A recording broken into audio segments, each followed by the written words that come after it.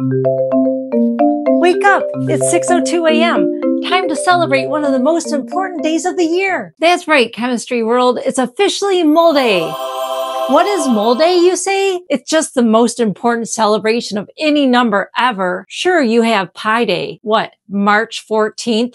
3.14, but mole is based off of an exponent, or to be a bit nerdier, 10 to the 23rd. Yes, October 23rd. Fully, this number is 6.022140076 times 10 to the 23rd, which is known as Avogadro's number. And with this number, we can see atoms. That's right, see atoms. I'm also going to need the periodic table to help me out with this one. Let's pick iron. If we measure 55.845 grams of iron on a balance, you'll have one mole of iron. One mole of iron is 6.02 times 10 to the 23rd atoms. So if you measure out that mass, you have that bundled amount of atoms. So you can actually see the atoms of iron. It's amazing. It's incredible. So much so that this number deserves to be celebrated. So happy mole day and make the most of it because it ends tonight at 6.02 p.m.